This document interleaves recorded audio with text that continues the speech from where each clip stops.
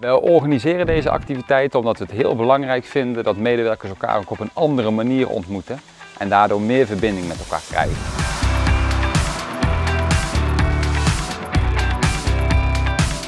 Vandaag zijn we in Zwijndrecht en we gaan uh, padellen. Ik heb nog nooit gerugbied, dus uh, leuk om mijn eerste kennismaking te doen. En we gaan vandaag allerlei leuke teamactiviteiten doen, waarbij het mentale en het fysieke gecombineerd wordt.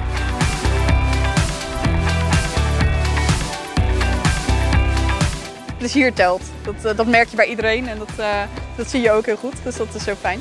Ja, het is gewoon echt leuk om bij Schipper te werken, omdat ze dit soort evenementen organiseren. De ene keer wat sportiever, maar de andere keer ook hele andere events waarbij je elkaar in ieder geval ziet.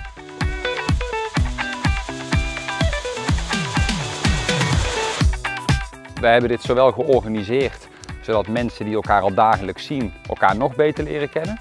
Maar ook juist door samenwerking te zoeken bij mensen die elkaar niet zo vaak zien.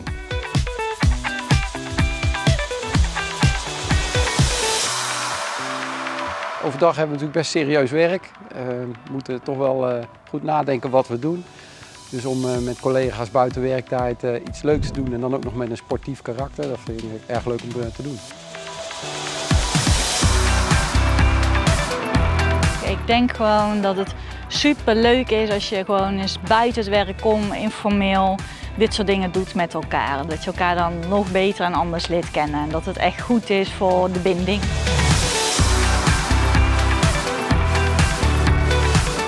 Ik ben echt trots op de prestatie die we met elkaar hebben weggezet. Iedereen bedankt voor de inzet en tot de volgende sportactiviteit.